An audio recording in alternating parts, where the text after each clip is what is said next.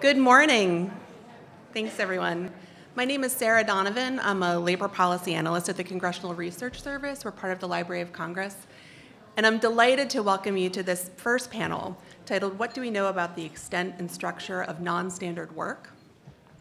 As was mentioned earlier, this is the panel that sets the foundation for all the discussions that will follow. So before we talk about the, pol the policies that are needed for workers in these positions, we need to ask who are they? What are the different categories of workers that fall under the umbrella of non standard work? Why are they in these jobs? What do they need? What do they want? So that'll be the focus of our panel. I'd like to briefly introduce our panel members, but you have their full bios in the packet that you received when you came in today. We'll start with um, Anne? Katharine, sorry. We'll start with Katharine Abraham, who's the director of the Maryland Center for Economics and Policy and professor of, of, economics and survey methodology of the University of Maryland. Next will be Anne Polivka, who is the um, research chief of the Employment and Research and Program Development staff at the Bureau of Labor Statistics, followed by Doug Holtz-Eakin, president of the American Action Forum. And closing will be Derecka Mehrens, executive director for the Working Partnerships USA. So the presentation will be followed by a question and answer section. Um, on your table, you'll see these cards. Grab one now. And as the presentations are ongoing, please jot down your questions. Uh, when the question and answer session starts, someone will come around and collect your cards. So put them in the air and they'll come and bring them to you. All right. And with that, I'll turn it over to Katharine.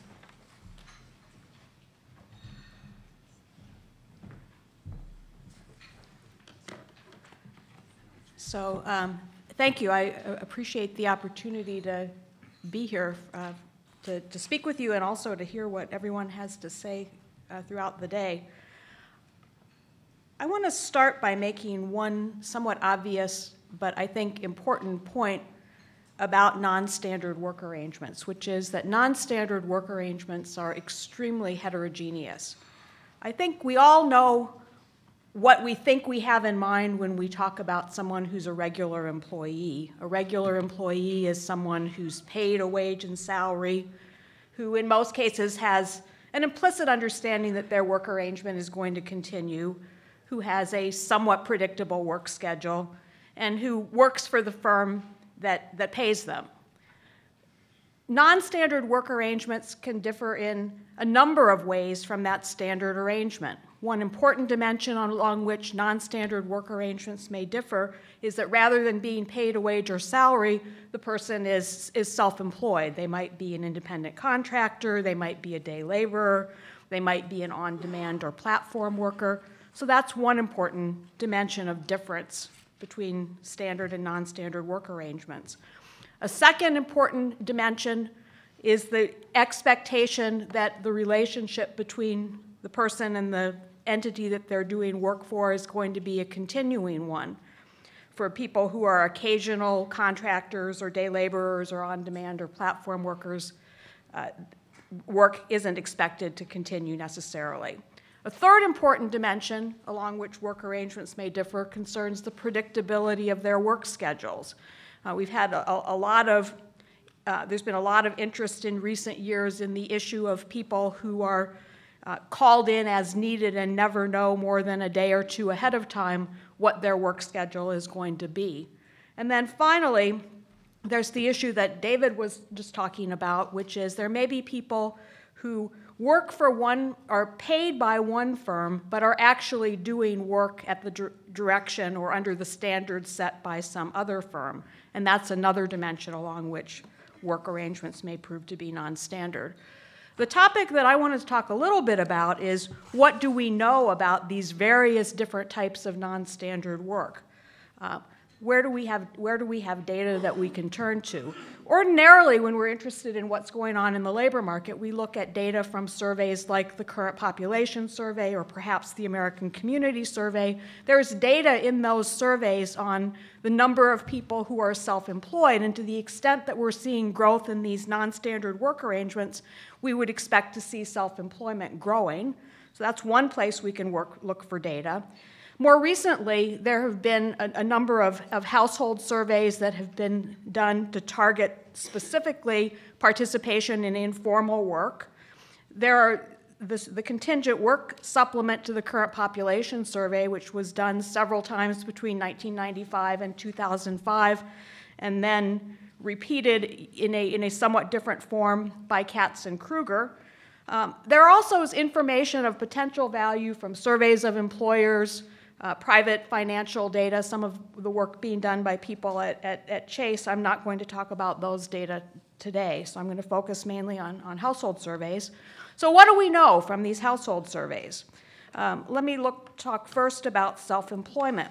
One thing that's surprising is that given all of the anecdotal evidence about growth and the importance of these non standard employment arrangements, if you look at household survey data on the share of workers who are self employed, that's those various lines down at the bottom, different sources of household survey data, you don't see any growth in self employment. That's really surprising. In some work that a set of collaborators and I have been doing, we've been able to take one of those sources of household survey data, uh, let me back up. If you, if you look in contrast at data from at tax data, um, people who are filing tax returns where they report Schedule C income, uh, issuances of 1099s, uh, data that the Census Bureau has on non employer businesses, which is basically sole proprietorships, those have shown quite a lot of growth. So the two kinds of data are telling you really different stories. In some work that some collaborators and I have been doing, we've been able to take people who are in the current population survey, match up their records to tax records for those same people, and look at how what people are telling us in the household survey data compare to what we're seeing for those same people in the tax records. Um, I'm not going to talk in detail uh, about how we did that linkage and so on, but included a slide on it in case you're interested. It turns out that there's a lot of disagreement between what people tell you in household surveys and what shows up for them in their tax records. For this project, we're looking at all of the people who said they had self employment income during a year and then whether that showed up for them in their tax return for that year. And you can see that if you look at people who said that they had self employment income in the current population survey, only about 55% of them had reported self employment income on their taxes. The disagreement among the people who had self employment income reported on their taxes, only about a third of them said in the current population survey that they had self employment income. So there's a lot of disagreement for thinking about trends, what's relevant is how that's changed over time. What this is showing you, the bottom line is, you know, of the people who in the CPS, uh, who, excuse me, the people who had um, self-employment in the CPS, you know, how many of them didn't have it in the, the tax data, that's not really changing. What's really changing is these people who report self employment income on their taxes, but when you talk to them, they don't say they're self employed. we're clearly missing a lot in the household survey data. We can say a little bit more about who those people are, and they fall into three categories. Some of them are people who just didn't report any employment at all in the CPS, but they have self employment income. Some of them are people who had a wage and salary job in the CPS, but then it, they, they show up with a little extra income on the side that they didn't tell you about in the household survey data. That's people like many of us who may do a little consulting on the side, is, is part of that group. And then there's the people who, when you talk to them in the CPS, say, I have a wage and salary job, I work for this company. But when you go look at how they're paid, they're being paid as though they're self employed. That's some of the people that David was, was talking about. And all of those people have grown. I guess the message I take away from that is that if we're really going to understand what's going on with these non standard work arrangements, we need to develop surveys that do a better job of probing to get at what people are actually doing. There are, as I mentioned, a number of, of surveys that have been done uh, by the Federal Reserve Board, uh, by the Boston Fed in collaboration with the New York Fed, where they have gone out and surveyed people and asked them more probing questions to learn about informal work activities that they may be engaged in.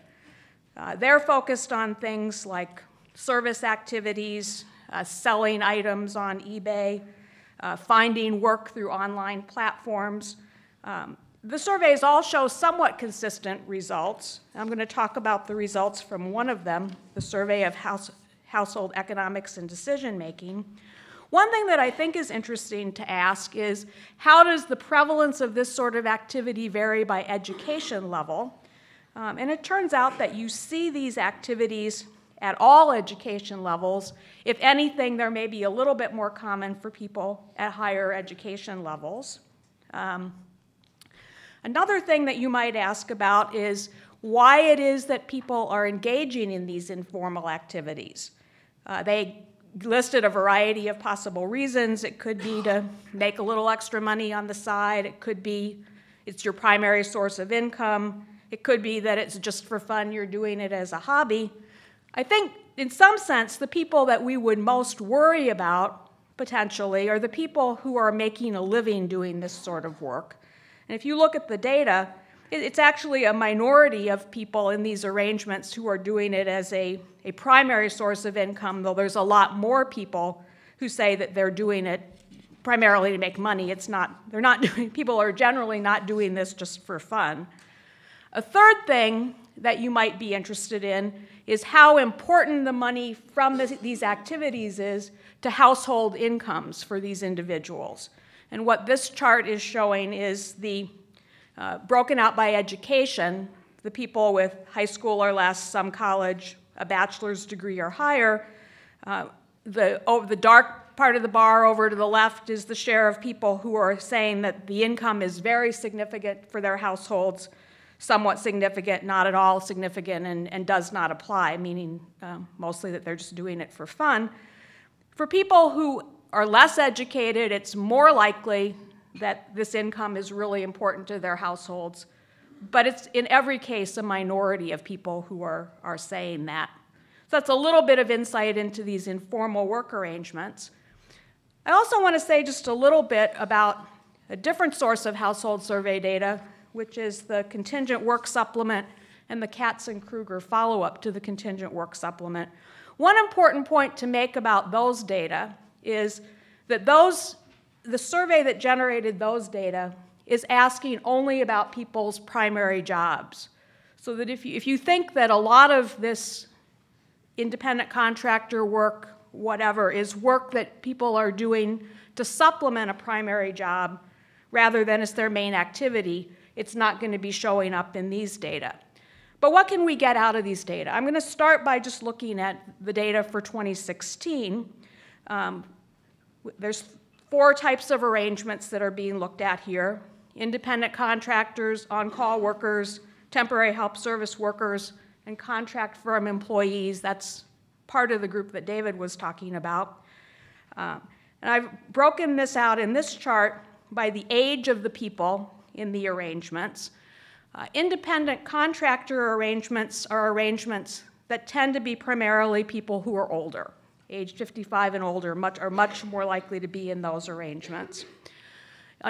In, if you look at these by education, independent contractors and contract employees, firm employees, tend to be more educated, whereas on call workers and temporary help service workers tend to be less educated. If we break it out by race and ethnicity, you see a similar pattern. African Americans and Hispanics are more likely to be um, uh, independent contractors, excuse me, Hispanics and whites are more likely to be independent contractors, somewhat the same pattern for contract firm employees. But on call workers and temporary help service workers are more likely to be African Americans and Hispanics. I do want to say just a word about comparing the Katz and Krueger data to the earlier contingent work supplement data. Um, they, it was a, a, a, big headline 94% of the growth in employment since 2000, between 2005 and 2015 was in these alternative work arrangements. I think you have to take that with a little bit of a, a, a grain of salt in the sense that the way that Katz and Krueger did their survey wasn't really comparable to the way that the contingent work supplement in the CPS was, was done. It was an online survey. People were only answering for themselves, not for other members of their household. Um, it's not clear that the sample was comparable to the, the contingent work supplement sample. If you look, the, the big headline number that was generated by comparing their data to the earlier data was looking at what happened to independent contractors. And they show, as David noted, a much higher number than the 2005 number. We have a little bit of other data that's trying to track the same things. There's something called the General Social Survey that over time has asked questions about these same arrangements. That's shown on the right. As you can see, you really don't, in a survey that's been done over time in a consistent fashion, you really don't get the same kind of pattern. So I think there's some uncertainty about how much growth in these arrangements we actually have seen. Um, the same thing goes for contract firm employment, where the patterns in the two surveys are different. Um, I am out of time, so I will not talk about work scheduling, except to say that I think that as we think about alternative work arrangements, it's also really important to think not just about the nature of the, the employment arrangement, who's paying you, how they're paying you, but what your control over your work schedules looks like. There are a significant number of people, something like 17% of workers in the US, according to one data source, who say that their hours vary based on their employer's needs. And there are an awful lot of those people, more than half, who get almost no notice of what their schedules are going to be. And I think that's an issue to be thinking about as well. Thank you.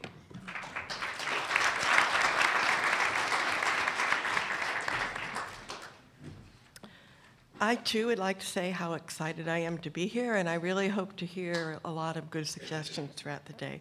And I'm also going to build on what Katharine talked about a little bit, but also I have more slides than I'll probably be able to talk about, so I hope they're online. An overarching view, to reiterate what Katharine says, is there is a lot of variety in definitions of what makes up non-standard work. And a really important thing to consider when you're thinking about policies is that there is a lot of heterogeneity within the groups that are referred to, uh, and even a lot of heterogeneity within the subgroups. And it's important to think about that when you're trying to figure out what questions you're answering. And on the outline of the talk, I'm going to discuss BLS data on non-standard work, um, data from the contingent worker supplement, and then data on worker schedules, two sort of aspects of that. And then I'm going to present statistics on preferences and some job characteristics, benefit coverage, um, and data from the BLS data. And then I'm going to conclude with some issues that I think you may want to consider when you're discussing these workers. As Katharine said, we have the contingent worker supplement. This is a supplement to the current population survey, and its objective was to obtain information on workers in contingent jobs, which you haven't heard about yet, and then four alternative employment arrangements, those who are independent contractors, on-call workers, temporary help workers, and contract company workers. The most recent supplement was done in May 2017, and we're hoping to have the data out this spring. But similar supplements were done in 95, 97, 99, 2001, and 2005. And in 2017, we largely replicated the survey, but we did add some questions on what we call electronically intermediated work or platform work, think Uber or TaskRabbit. It is a household survey. We ask about all employed people um, except unpaid workers. We ask about people's main jobs, as Katharine said, but that might be the most important group to focus on in terms of benefits. Um, we collect a wide variety of information, demographics, earnings, preferences, health insurance, and pension coverage, and you can also hook this up with the basic CPS and the March income supplement. Oops. Okay, what is a contingent worker? A contingent worker are those who do not have an explicit or implicit contract for long-term employment. They are people who do not expect to continue in their job for um, personal reasons. Those people are excluded. This is a job that is structured to be short-term, and that's one aspect that we measure in the supplement. And then what kind of information do we collect to determine whether somebody is contingent. We ask them whether their job is temporary or not expected to continue. We ask them how long they expect to be able to hold their job, their main reason that they expect to be in their job short term, um, so that we can separate personal reasons from economic reasons, and how long the worker has held the job. Using this information, we constructed um, three definitions of contingent workers, and here I'm going to concentrate on the data in 2005 since the 2017 data isn't out yet. The first estimate, we look at just wage and salary workers who are expected to be, have their job, have been um, less than a year and expected to be less than a year for an economic reason. In 2005, about 1.8% of the labor force um, was in that contingent definition. Under our second estimate, we added in self-employed workers who expected to be and were self-employed for less than a year. Um, that was 2.3% of the employed. And then an estimate three for the wage and salary workers, we, re, we relaxed the assumption that you had to expect to be and in your job less than a year and have been in it less than a year. And under that, you get um, about 4.1% of our labor force, of those who were employed being contingent in 2005. And what I talk about subsequently, I'll be focusing on that third estimate. In terms of our alternative employment arrangements, we have independent contractors, and those are all those who identify as independent contractors, consultants, or freelance workers in the supplement. We ask them these questions, and we identify them regardless of whether they identify themselves as self-employed or wage and salary. Another arrangement that we um, measure in the contingent worker supplement is on-call workers, and those are persons who are called into work only when they are needed, although they can work on a schedule for several days or weeks in a row. Then we have a measure of temporary help agencies, um, these are workers who are paid by a temporary help agency, whether or not they said their job was initially temporary. And then the final group of worker we measure is workers provided by contract firms. And this is a little bit different than subcontracting. This is an intermediated work relationship where we ask, um, in addition to whether somebody works um, for a contract company, for us to classify them as a contract firm worker, they need to work on site of the customer and really usually only have one customer. Using those definitions, um, in two, February 2005, 7.4% of the employed were independent contractors, 1.8% were on call, 0.9% were temporary help agencies, and 0.06% were workers provided by contract firms. Um, this is similar to the chart that Katharine showed, so you can sort of basically see the growth over time or non-growth over time. Um, but it does not have the Katz and Krueger's estimates on it, but we obviously will be adding the 2017 estimates when we get them. Now I want to look a little bit about at people's preferences and job characteristics and benefit coverage of, of contingent workers.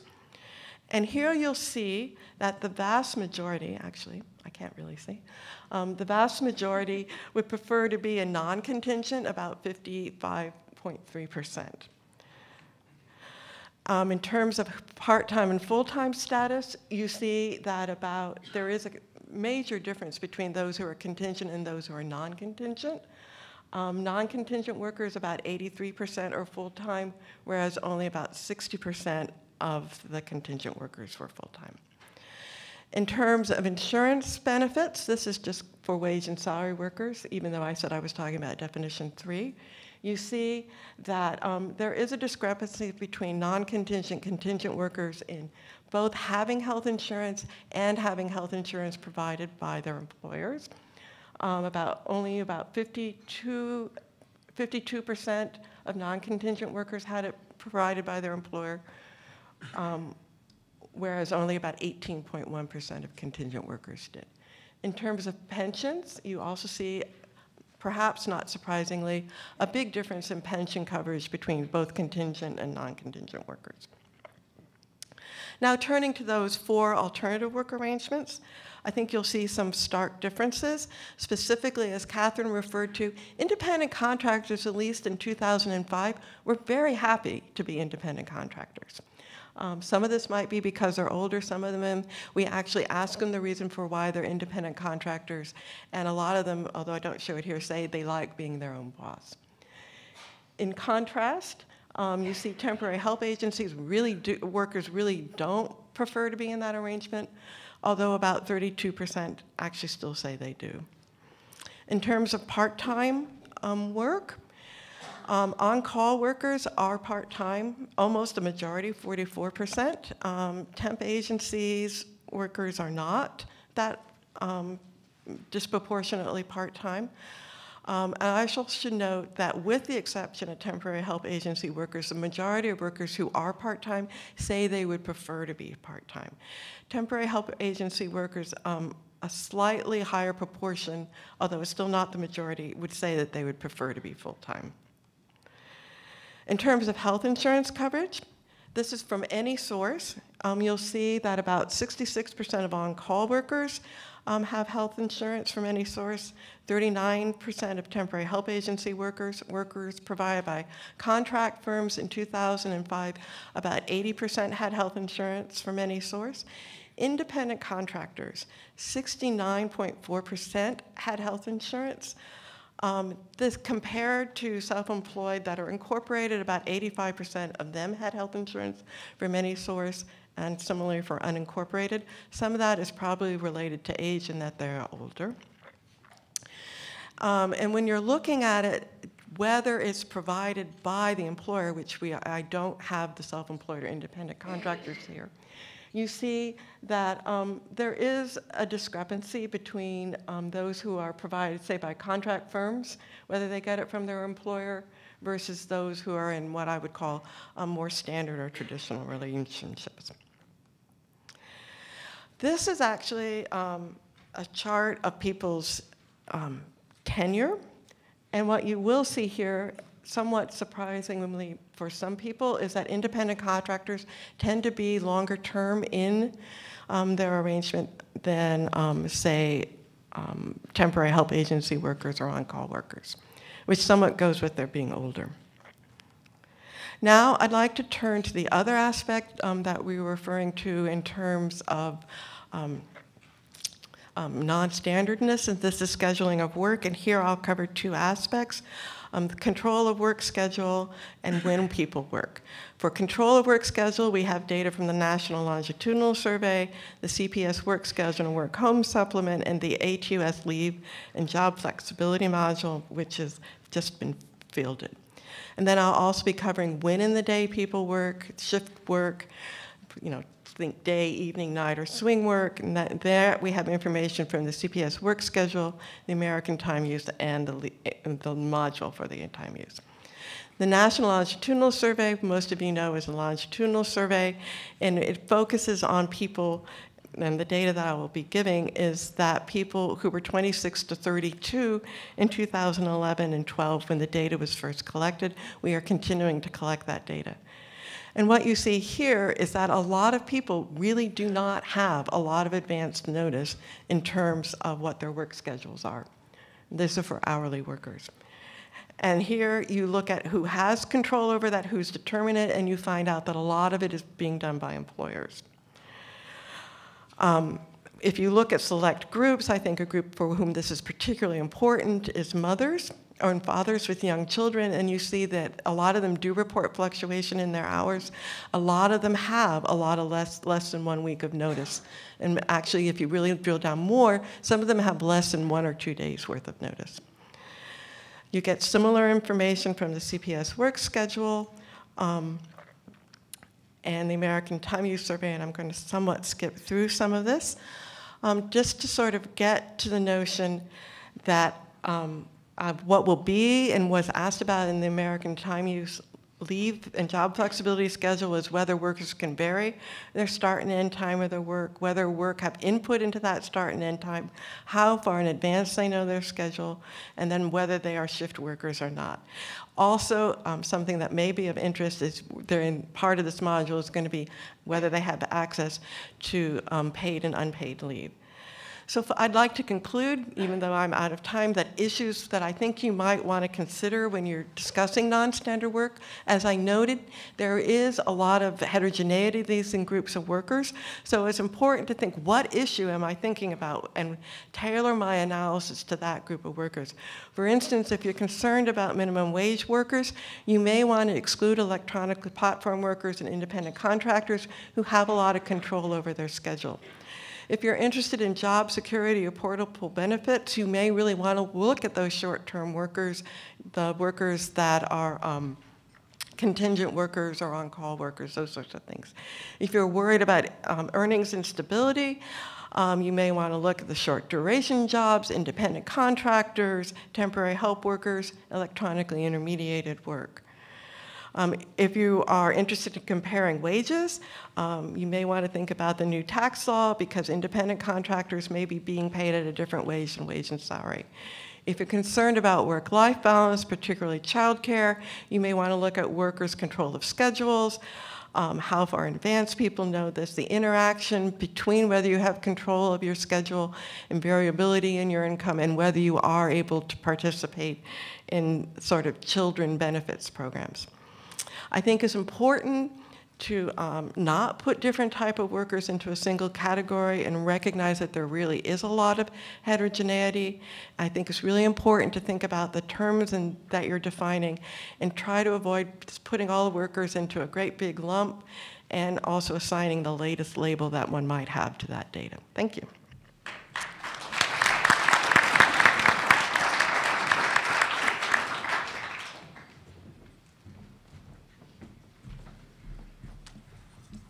So I want to say thank you to the National Academy for the chance to talk about this today, and I want to acknowledge at the outset the, the amount of work that my colleagues Will Rinehart and Ben Gitis have done in this area and how much I've learned from that, some of which I'll, I'll tell you about today. Um, the, the, explosion of platform-based uh, uh, commerce has been amazing, and uh, the very prevalence of the Airbnbs, Amazons, Ubers, Lyfts, Etsy's, and, and a variety of things tells us they must be conferring enormous benefits somewhere in the economy. And what I want to spend a couple minutes talking about today is what are the benefits uh, of these kinds of approaches to organizing work? Uh, there's going to be a lot of discussion of the cost, but I think it's important to remember this didn't occur in a vacuum, and, and we ought to think about that as we think about the policy issues that they present us. And the benefits can accrue to um, consumers, uh, and the benefits could accrue to, to the workers in those, uh, in those arrangements. I want to talk a little bit about what little bit of research we, we have on those topics. It's all quite preliminary, uh, but it's important and I think somewhat suggestive. Um, uh, in, in, terms of the benefits to consumers, I think one of the really uh, interesting papers was done by Bob Hahn and a variety of co-authors, Steve Levitt, um, Cohen, and others, that sort of looked at the Uber platform and tried to figure out uh, what would be the benefit to the consumers of that particular uh, access to that ride sharing network? And, and they come up with an estimate of the consumer surplus uh, provided by Uber in a single year at $6.8 billion. And it, just an enormous improvement in their welfare from the access of the timing and, and other attributes of an Uber ride. Um, and that suggests we've got to think hard about um, uh, the consumer implications of what we might do to the work arrangements uh, as a matter of the, of the policies there. Uh, there's a, a, second question as to sort of where in the distribution those benefits tend to accrue, and a couple of guys at NYU have looked at the Getaround peer sharing network uh, and, and concluded that an enormous fraction of the benefits of these kinds of things will accrue to below median income individuals, and that, that this is actually most important lower in the income distribution and so, in thinking about our policies again, uh, you really want to think hard about not just the, the efficiency effects, but also the distributional effects, and those are important considerations. It also suggests we need a lot more research in, in other areas to see if those kinds of benefits generalize. And there's some simple metrics of, of the benefits to consumers, which is if you look across the geography in the United States and elsewhere, where you see Uber penetration uh, rising, you see complaints about taxi service declining. The complaints about uh, uh, drivers on cell phones, uh, meters that don't work, dirty cabs, uh, the, the pressure of the competition produces consumer benefits, and, and that's an important consideration. So there's a, a, a, sort of nascent set of research out there looking at the, the product market implications, and I think that's something we would really need to build on and think hard about. Second set of uh, considerations really are the workers themselves. Are, they, are there circumstances where this is not something that's being posed, imposed on them so much as there's something that they might uh, uh, benefit from in doing this? And so uh, Will and Ben and I, a couple of years ago, uh, got into the, the business everyone gets into, which is can we somehow replicate the contingent worker survey using something else and figure out the growth of the, the gig economy. And so we took the general social survey uh, from 2002 to 2014 and looked at three different definitions of what you might think of as gig economy workers. Um, uh, acknowledging at the outset this is all pretty heroic. And, and, what you see is um, really some benefits to workers and be able to manage essentially demand shocks to their ability to, to, find, to find work. That's a period that includes the Great Recession. And certainly, one of the, the things that jumps right out is that those people who are involved in the gig economy are more likely to have been laid off from, from some other kind of full time work. Uh, they are more likely to be working part time, trying to fill something in.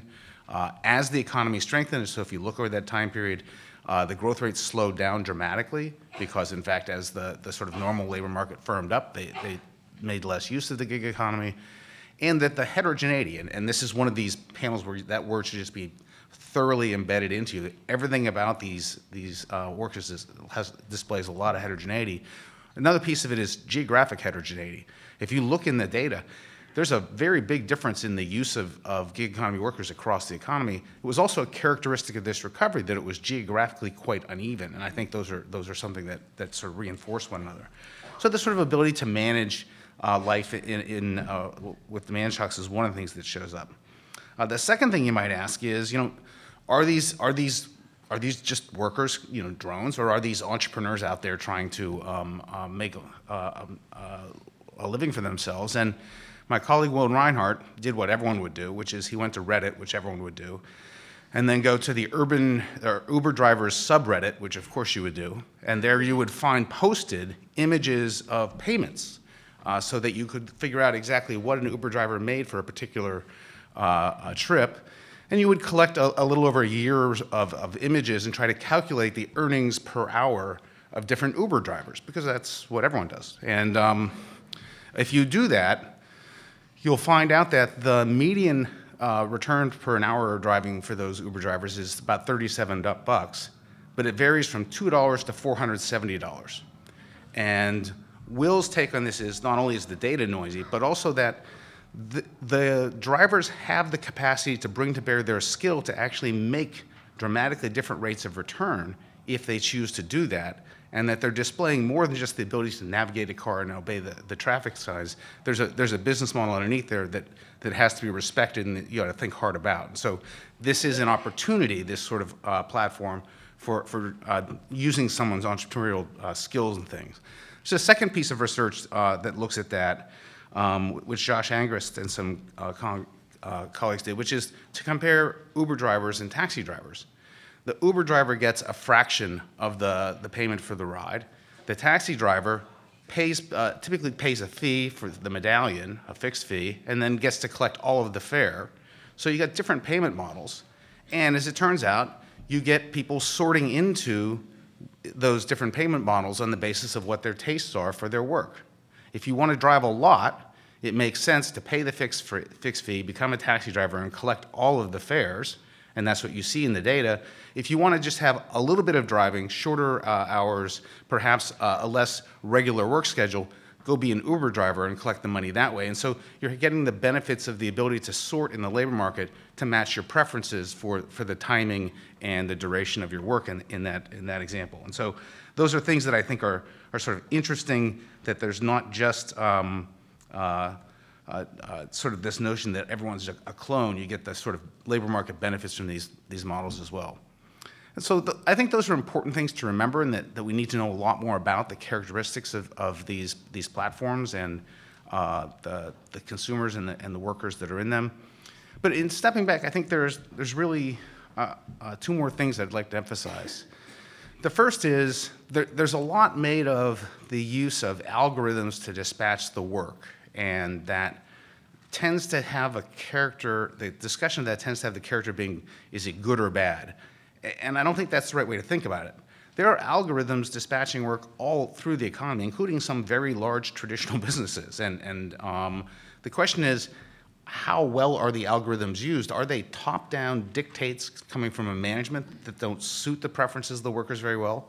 Or are they something where the workers are joining into an algorithm because it matches their preferences and, and, and you're getting something out that makes economic sense as, as a, a, good match? And I think that's worth thinking a little bit more carefully about and, and, and, and uh, um, uh, being cognizant that they're not all the same. And the, and the second thing is that uh, the, basically what has gone on with these technologies is that it has reduced the cost of certain transactions, and you can do things that you could not previously do. And if you go back to the sort of simple Coasean notion of what is a firm, a firm's boundary occurs where it becomes cheaper to do something in an arm's length market transaction than to do it internally within the firm. And what these technologies have done is have changed the boundary of the firm. It is now much cheaper to do things across a platform and across a market transaction than, than it previously was. And it is unsurprising that the nature of our firms would change as a result. The issue is, however, if you're going to provide firm-based social insurance, the nature of your social insurance programs will probably likely have to change as well. And I think that's the, the, the task that faces us today and in the future. It's not a, choice to roll back the clock. It is that we are in a different world with a different set of opportunities for transactions and different business models that result as well. And it has always been a characteristic of the U.S. economy to embrace those new business models. You know, uh, David Weil mentioned uh, big box retail. Uh, people forget that in the great productivity boom of the 1990s, big box retail was half of it. That's, that was what was driving a lot of that uh, productivity. Those new business models have always an advocate. And so I come from Silicon Valley. Uh, I work for an organization called Working Partnerships USA. We were founded in the mid 90s uh, uh, when the tech sector was emerging as a force. Uh, and really, uh, we are a community labor alliance that, has come, that came together to push back on the notion that the tech economy was working for everyone. And uh, we have been found ourselves in this conversation about the future of work and the economy. And so I'm going to give you a flavor of some stories, and really, um, I think a lot of what I heard today resonated with what we're hearing, though I can't, I don't have the stats always to back it up. I need a clicker. Thank you. All right. So we're, um, and, uh, we often say in my world that Silicon Valley is a geography, it's a place. Um, we tend to define it as two counties in the Bay Area, Santa Clara and San Mateo County, although San Francisco wants to be a part of it now. Um, uh, it's also an industry, um, and it's also a brand, right? It's this idea that, you know, if you invent the new iPhone, the new widget, you can make it. You can be Mark Zuckerberg. Um, we're organizing low wage workers and, and working people in Silicon Valley, and it's not all roses. Um, we would also say that uh, Silicon Valley is an epicenter of inequality. Um, one out of three workers uh, in the valley does not earn enough to survive. The housing crisis is officially an, a catastrophe, um, both because wages aren't high enough, but also because property rights and capitalism. Um, but, uh, and it means that you need $3,200 uh, a month to, for an average two bedroom apartment in San Jose. Uh, it means that a service worker earning less than $15 an hour has no chance at that. And what they tend to do is double or quadruple or triple, triple or quadruple up in housing. Um, I ran into uh, uh, an organizer the other day who said that when they were door knocking in East San Jose, they not only had an, a three bedroom apartment that was being rented by five different families, with you know one bedroom will have the mom and the dad and two kids. They were renting for $80 a month the, floor, the space in between the floorboards and the dirt to an undocumented agricultural worker. Um, we're renting closets and, and garages, et cetera. And this is an important thing, I think, to think about when we think about the consequences of the fissured workplace um, and of the lack of leverage that workers have uh, with industry, with the industries uh, like tech that are, that are making so much. More than one third of school children are homeless in the valley, and so we have workers like, like Nahima who um, was renting with her. She's a single mom. She's a food service worker at Intel. So she is one of these fissured workers who works in a multi-party um, uh, relationship. She works for a contract firm that then is employed at Intel, but she goes to Intel every day for work. And she rented with her two kids a, a room, uh, and uh, finally had had it, um, and moved to Modesto because she just couldn't figure out. She wanted to give her kids a better life and be able to rent an actual apartment. And now she commutes four hours a day, two hours in from the Modesto, which is in the Central Valley, um, and two hours back, and barely sees her kids, but insists that on the weekend it's better, right? So these are some of the things that, that these fissured workers um, are dealing with. We formed Silicon Valley Rising after the recession, the post recession economy, where we had just passed a minimum wage law in the city of San Jose, which at the time was one of the largest minimum wage increases in the country. It was uh, from 8 to $10 an hour pre Fight for 15. And yet, workers were still making just $10 an hour, and we were like, wow, in the shadow of the tech sector, we really need to be doing better than $10 an hour, right? Um, and so we've been we've formed Silicon Valley Rising really to do three things. One, to organize these subcontracted workers in the valley. Our theory was that the tech sector could could do different. It's a it's a sector that has um, enormous potential uh, to do no evil and that wants to change the world, and that if we had leverage and workers and, and members, a base in the sector, that we could get them to do right by their contract workers and to really think about their contribution to the housing crisis and to help us raise minimum wages and do fair scheduling laws, et cetera. And we're succeeding. Um, we've organized over 5,000 food service workers, security officers, janitors, and shuttle bus drivers uh, in the tech sector. We have Facebook and Cisco are now union across the board, all of their subcontracted workers. We're in a whole different level of conversation with them about bargaining around a housing fund, for example, um, for their, their contract workers, or trying to build affordable housing on behalf of their contract workers. Um, that being said, we're also uh, still dealing with an economy that's not working for people, right? We have very few jobs projected in the uh, middle over the next 10 years, over the, a 10 year period. And most job growth is in the low wage and the high wage uh, economy. So for us, that means that we have to improve this stat really did stick with us. There are 1.3 million low wage workers earning less than $18 an hour in the Bay Area economy. Uh, there are only about 300,000 middle wage job opportunities projected in the economy through 2024, about 30,000 a year, including retirement. Um, even if all 1.3 million workers got a PhD, there's no job for them. So we have to figure out, right, how, A, how are people making it now? And B, what are we going to do to move folks into the middle? Con- subcontracted industry growth is three times as large uh, as direct employment growth. So if we don't deal with leverage and figuring out how workers who, who aren't employed by Google, Apple, Facebook, and Amazon can get productivity gains from Google, Apple, Facebook, and Amazon, it's not going to happen. Uh, and so this is an important thing that we think about when we think about how we're going to change both the economy but also deal with these, uh, the impacts and the real life situation of workers. Um, this fissured economy also, let's be clear, is racialized in terms of its disparate impacts.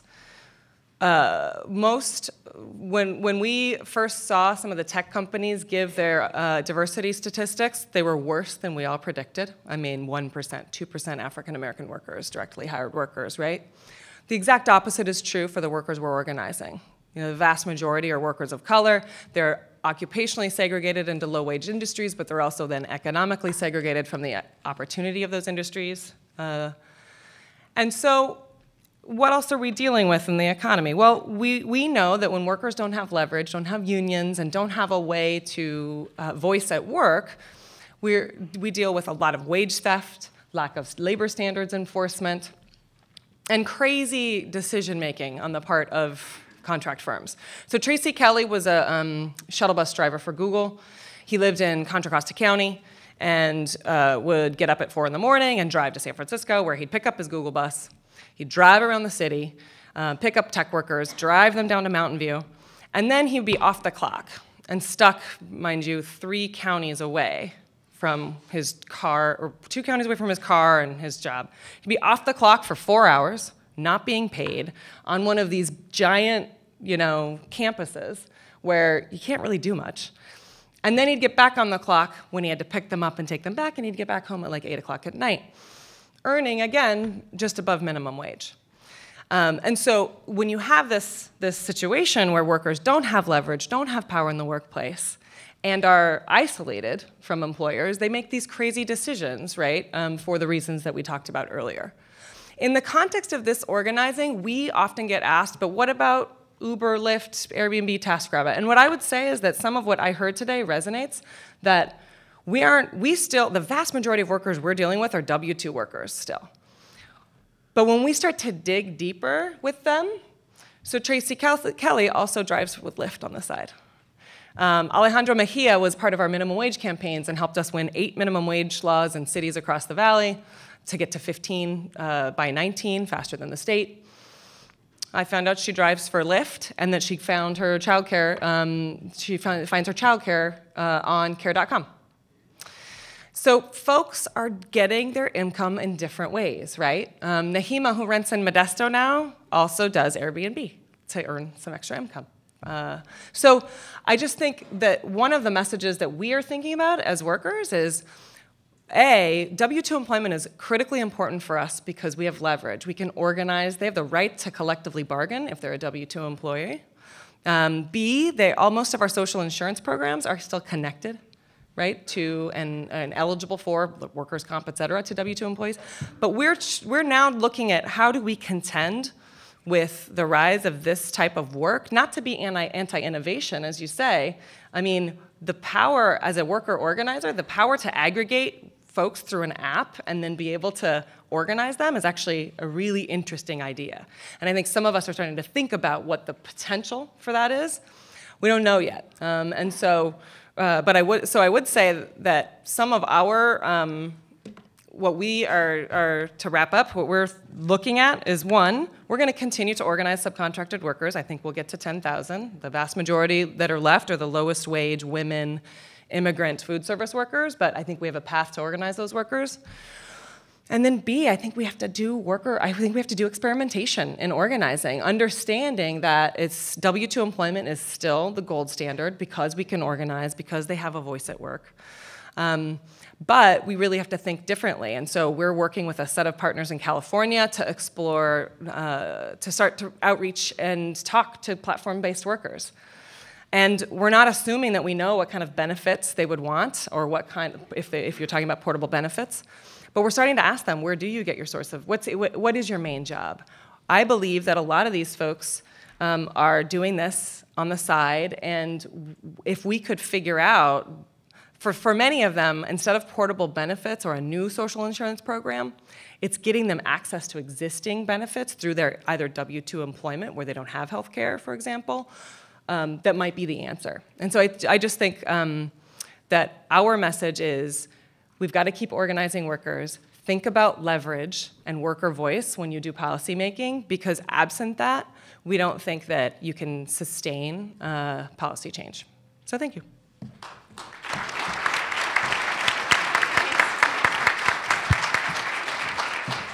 Thanks very much.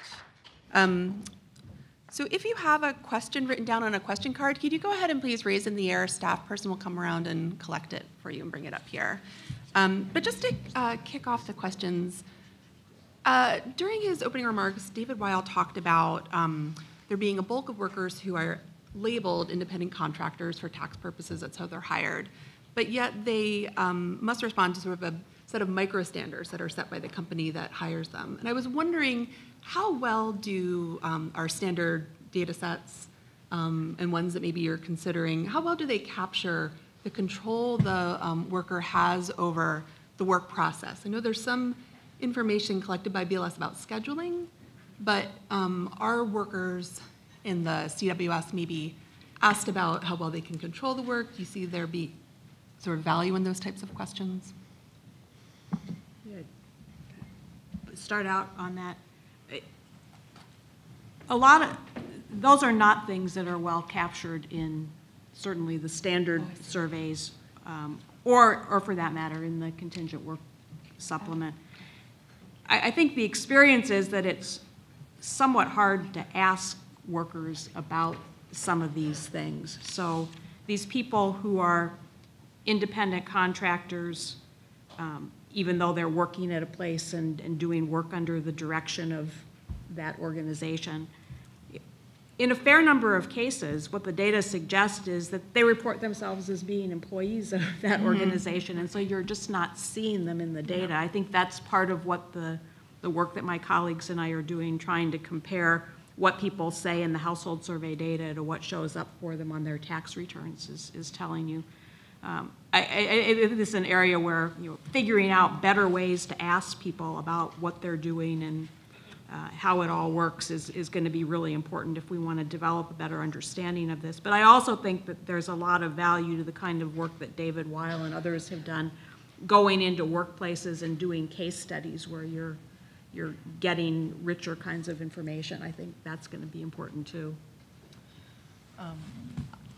I, I basically agree. There have been some establishment surveys, but they weren't government funded um, in terms of who has control over work and that sort of thing. There is in Canada and some exploration about how dependent people are that are self-employed that are one customer. And I think this discrepancy really does get to about control over work and what it means to be self-employed. I mean, so, substitute teachers get 1099 forms. Do we consider them self-employed? Do we, do they have control over their work? So that's kind of the issues that I think we're thinking about. And um, it is something that's very hard to measure. Yeah.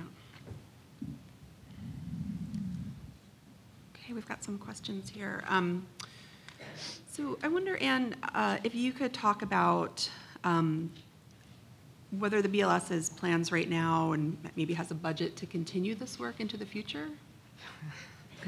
Start with- start with an easy one. Well, I, I think you're right. It all depends on the budget, and it all depends on funding. Um, And you, that's really. to be determined. To be To be determined. determined. I mean, there's certainly a desire, but Yeah. there, it's a budget issue. Yeah. Um, Doug, we have a question for you. Um, Could you say a bit more about the use of algorithms um, and what we know about how they're used um, to help and how they, how they're sometimes challenging for workers? So I, um, there, there's just a lot of sort of now algorithm-based work scheduling. And uh, uh, some of it, uh, for example, Walmart has recently announced that, you know, they, they are going to take their algorithm-based work scheduling and make it match more closely the preferences of their employees. That, that was a big initiative, announced, announced about a year ago, where, where they said, you know, th- they were the kind of employer that would be captured as saying, look, you know, tomorrow we need you here, and that, and that was turning out to be a real employee relations problem for them. And, and so they've, they're, they're still using an algorithm-based system. Employees put in the information and their preferences, and then they head off to, to do the scheduling.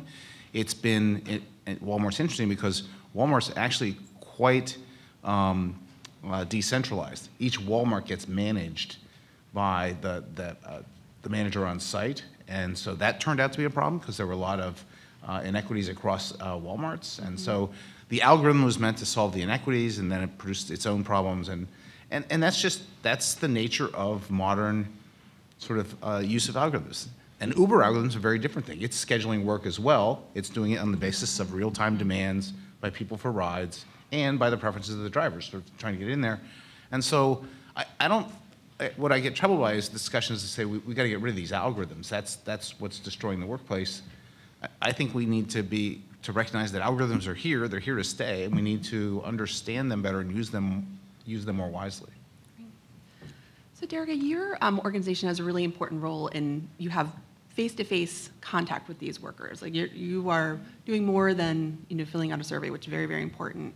Um, so you work in California, you work in the tech industry. Do you have um, collaborations with, you know, sort of counterparts in other states and in other industries so that we're kind of building this rich information system across the country?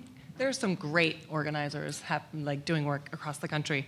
Um, uh, so yes, Um, Michelle Miller from coworker.org is doing fantastic work using an app based platform to allow workers to work together and take collective action in the workplace. Um, many of the folks who've been working in the, oh, the, the Workers' Defense Project in Austin. Um, I'd say ROC, uh, restaurant workers are really thinking a lot about algorithms and automation in, in the workplace. Our, which was formerly Our Walmart, is doing fantastic work in the Walmart sector. So, yes, I think there's a set of worker organizers in the country that are thinking really deeply with workers about this problem. And what we have to do is get them in the room with you all as we do policy making. Thanks.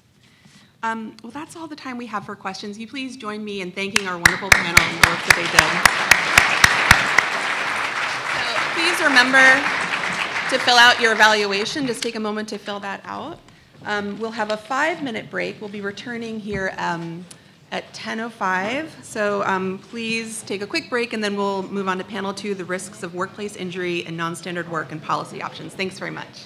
All right, thanks.